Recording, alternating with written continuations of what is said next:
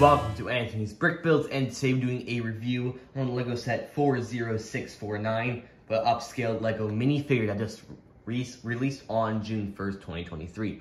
Really excited about this set, probably one of the coolest June 1st releases this year, and it was it's a great value for your 50 bucks, containing 654 pieces.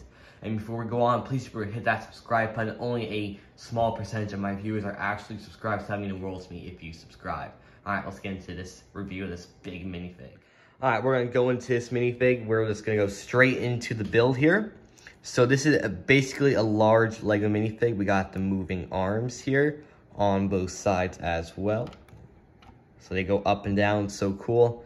The head does move, so it is easier with two hands but your head does move and you do have articulating legs. So that's so cool. And also, you can take the top part off the bottom part. So it's basically just like a Lego minifig right there. We got probably the coolest part in here, the printed the smiley face right there. And there's so many just cool techniques that Lego did use in this. So it's just so cool. I, I highly recommend it to any Lego enthusiast. But we can make him sitting, and we can do awesome stuff with him, just like a Lego minifig. And going on to the back right here is basically just perfect. It's got the blank head back here. No, no, no printed face on the back either, but we got this nice tile back here, and we got, it's just so cool how they made this into a minifig.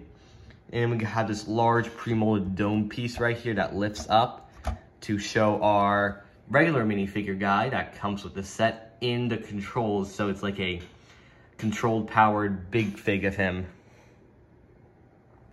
Yes, that is just so cool. And these turn back here, so some cool little movement. They got kind of these levers that do fall off, obviously. Let's put that on the side. But yeah, really big pre-molded dome piece included in this amazing set. Thank you guys for joining me for this wonderful episode of Anthony's Brick Built on the amazing upscale Lego minifig. Hit that subscribe button if you have not already, and I'll see you guys in the next episode. See you guys, and have a great rest of your day.